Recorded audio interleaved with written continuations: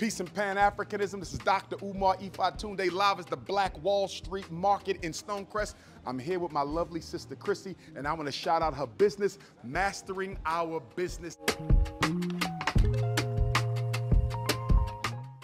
Georgia, some noise!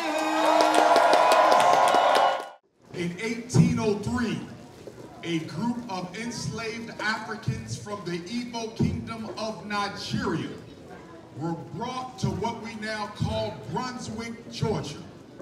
And when they were discharged from the slave ship under the leadership of one of their own priests, chiefs, they turned around and walked into the water and said they had rather be ancestors than be slaves.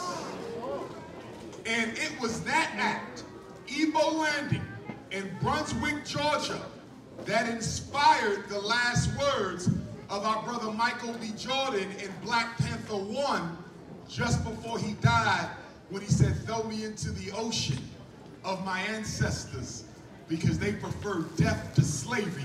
That came from right here, Brunswick, Georgia. Black power, brothers and sisters. Yes.